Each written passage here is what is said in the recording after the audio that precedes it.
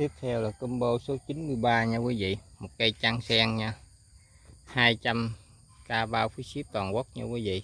Anh chị em nào mua vui lòng chuyển tiền trước nha quý vị. Sen sen cái gốc của nó nè. Cầm lên tôi quay cho quý vị coi nha. Cái này nó lùng xịt thôi nha quý vị. Lùng lắm nha. Rồi 200k ha.